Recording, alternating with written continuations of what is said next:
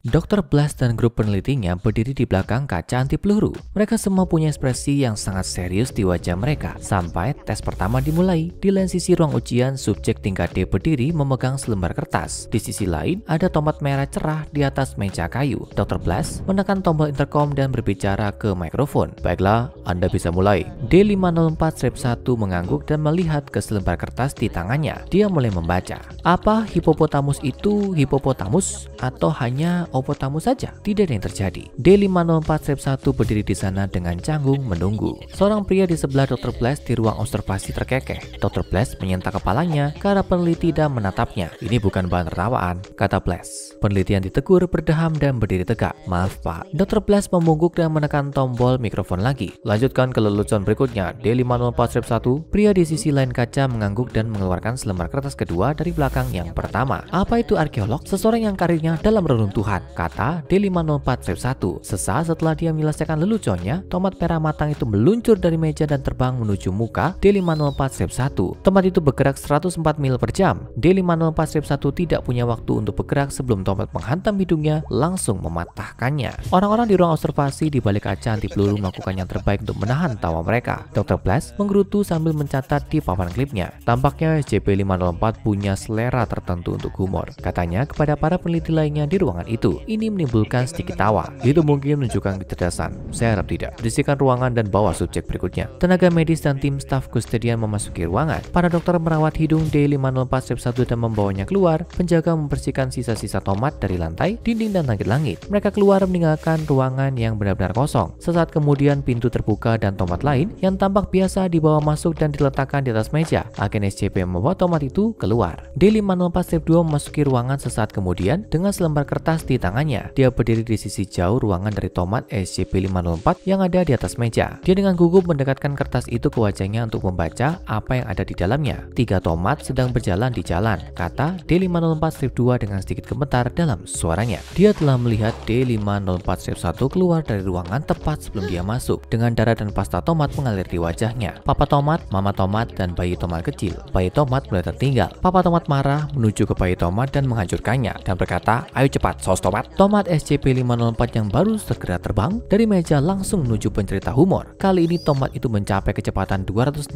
mil per jam saat menghantam muka D504 Strip 2. Hantaman itu langsung membuatnya tak sadarkan diri. Setelah beberapa percobaan pertama, Dr. Blast memutuskan bahwa inilah saatnya untuk melakukan sesuatu yang lebih baik. Organisasi telah mengumpulkan ratusan tomat SCP-504, jadi tidak ada kekurangan. Setelah ruangan dibersihkan sekali lagi dan tim medis mengeluarkan anggota tingkat yang pingsan yang tersingkir oleh eksperimen SCP-504 504 sebelumnya. Mereka siap untuk memulai lagi. Kali ini akan ada konsekuensi mengerikan atas tindakan mereka. D504 strip 3 memasuki ruangan. Tomat SCP-504 telah diletakkan di atas meja. Anda boleh mulai, kata Dr. Bless ke mikrofon. Anggota 3D membaca lelucon di selembar kertas yang dipegangnya. Jadi, saya akan tidur, dan saudara laki-laki saya memberitahu saya, Selamat malam, jangan biarkan kutu busuk menempelkan belalainya di kulitmu dan menghisap darahmu. D504 strip 3 berhenti sejenak. Semoga kulit bus makin sehat, dia mengakhiri leluconnya. Selama 2 detik tidak ada reaksi dari SCP-504. Dr. Bless berpikir bahwa lelucon yang mengerikan ini tidak bisa dimengerti oleh SCP SCP-504. Tiba-tiba ada suara crack. D504 strip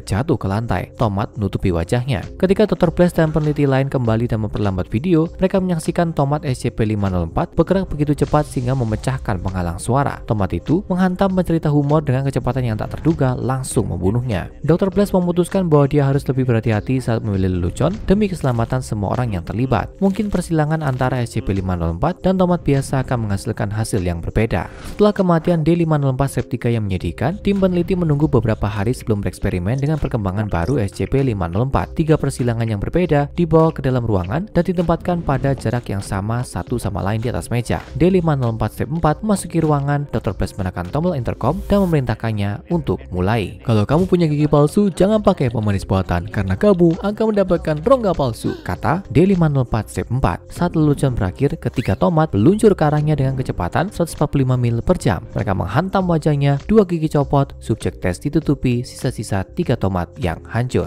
Menarik, catat Dr. Plus. Semua tomat bereaksi dengan cara yang sama. Jadi sekarang kita tahu beberapa dari SCP-504 akan mengejar pembuat lelucon yang sama. Dia berhenti untuk berpikir sejenak. Bagaimana kalau tomat kita potong? Ruang ujian diatur ulang. Tomat SCP-504 lainnya dibawa masuk dan dipotong menjadi empat bagian. D504-5 masuki ruangan dan memulai leluconnya. Saya mencoba masuk ke toko target, tapi saya meleset. Keempat keping tomat itu melesat menuju wajah D504 step 5. Mereka menghantamnya dengan kecepatan 212 mil per jam. Salah satu potongan tomat menusuk ke matanya langsung menghancurkannya. Tim medis bergegas masuk dan mengeluarkan subjek yang melolong dari ruangan. Dr. Bless menulis dengan penuh semangat pada papan klipnya. Kita mulai melewati subjek tes terlalu cepat. Dia mengumumkan, mari kita coba dengan rekaman dan lihat apakah SCP-504 akan bereaksi terhadap itu. Tim peneliti membawa tomat baru, pemutar CD, dan album berbahaya jika tertelan oleh Dinko. CD mulai diputar saat salah satu leluconnya muncul. Tomat itu meluncur dari meja dan menabrak CD player, menyebabkan stereo dan tomat itu pecah menjadi beberapa bagian. Tomat meluncur dengan kecepatan 167 mil per jam. Tampaknya SCP-504 bereaksi terhadap rekaman juga. Kita bahkan tidak harus berurusan dengan tingkat terkutuk sejak awal, kata Dr. Bless. Dia memberitahu timnya bahwa karena tingkat resikonya sekarang relatif rendah, mereka dapat melanjutkan eksperimen tanpanya. Dia keluar dari ruang pengamatan untuk istirahat. Peneliti lain saling memandang senyum nakal muncul di wajah mereka saat mereka mulai tertawa. Tim peneliti SCP-504 menyiapkan tiga tomat baru dan membawa tiga subjek tingkat D ke dalam ruangan. Para peneliti kemudian mundur kembali ke area pengamatan dan memulai lelucon melalui sistem intercom, sementara anggota tingkat D menunggu dengan sabar di ruangan dengan tomat SCP-504. Berita berikut baru saja dirilis, kata salah satu peneliti melalui sistem intercom. Bom meledakan patung Lenin. Subjek tes pertama menyelesaikan lelucon dengan akhir yang tertulis di selembar kertasnya. Oh, itu akan menyisakan Marx, kata subjek tes 1. Tomat pertama berkedut tapi tidak meninggalkan lokasinya di atas meja.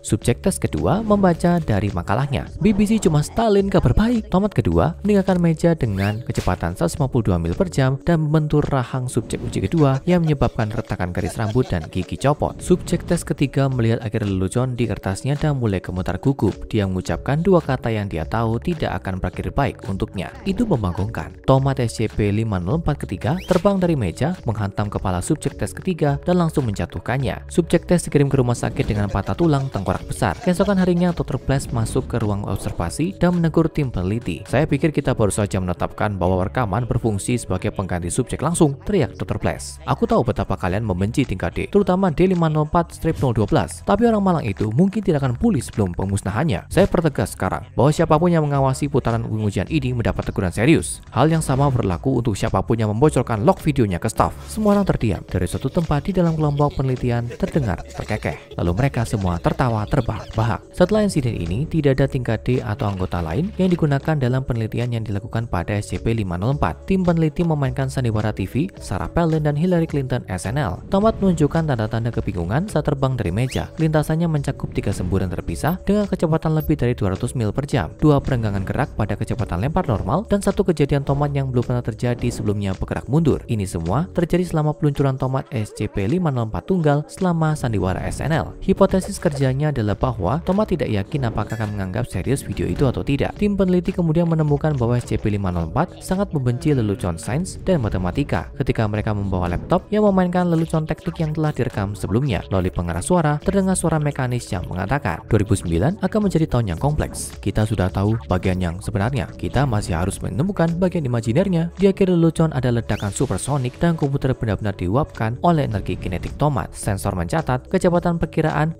2174 mil per jam saat tomat terbang melintasi ruangan. Kesimpulan dari eksperimen pada SCP-504 berakhir dengan komputer lain yang dibawa ke ruang pengujian. Komputer mulai memainkan sketsa Monty Python dari lelucon terlucu di dunia. Menjelang akhir sandiwara, pasukan sekutu membacakan lelucon paling lucu di dunia dalam bahasa Jerman untuk mengalahkan Nazi. Para aktor meneriakkan, When is das Nustruk Kid Unstotmeier? Ja, Ben Who das Order die Flipper Wild Gaspurt di akhir lelucon, tomat meledak di atas meja tempat itu ada. Puing-puing dari tomat melapisi seluruh ruangan, termasuk komputer. Para peneliti menyimpulkan bahwa SCP-504 tidak tahu apa yang harus dilakukan dengan lelucon terlucu di dunia. Jadi itu memusnahkan dirinya sendiri. Dr. Bless duduk di kafetaria dengan tenang sambil makan siang sambil membaca log untuk eksperimen SCP-504. Tiba-tiba terjadi keributan di dapur. Ada teriakan teror. Dr. Bless melompat dari kursinya, berlari ke pintu dapur dan mendorongnya hingga terbuka. Yang mengejutkan, dia melihat irisan tomat berterbangan di sekitar ruangan. Seorang di tim peneliti berpikir akan lucu untuk memberikan tomat SCP-504 kepada staf dapur dapur yang tidak tahu apa-apa untuk melihat apa yang akan terjadi. Setelah dipotong-potong dan dimasukkan ke dalam makanan untuk hari itu, seseorang di dapur menceritakan humor yang buruk. Irisan tomat berterbangan seperti senjata rahasia. Dr. Blast melihat kelompok peneliti yang mengintip melalui jendela dapur dan tertawa histeris. Dia akan mencari peneliti yang melakukan ini dan mereka akan dipecat dari organisasi SCP. Sekarang tonton SCP-001 Pendamaian, siklus Ouroboros animasi SCP atau tonton SCP-5000 Mengapa, kompilasi cerita lengkap animasi SCP.